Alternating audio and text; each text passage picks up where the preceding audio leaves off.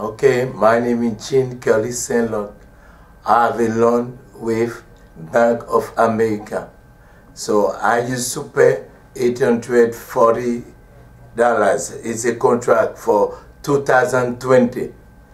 Then after that, suddenly they told me I have to pay $1,700 every month. And I don't make it. I don't make that much money every month. I don't know what to say. I pray. I pray. When I pray, the lawyer told me, if you want, you don't have to pay me nothing. You lose, you don't have to pay me nothing. I go call them to fix it. If they don't fix it, so we go sue. I say, okay. I, and I pray.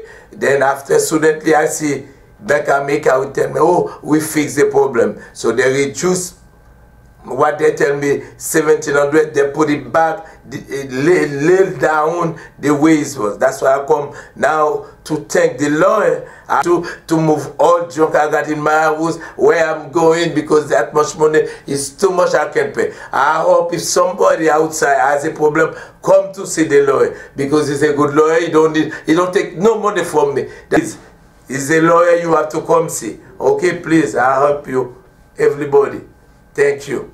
I think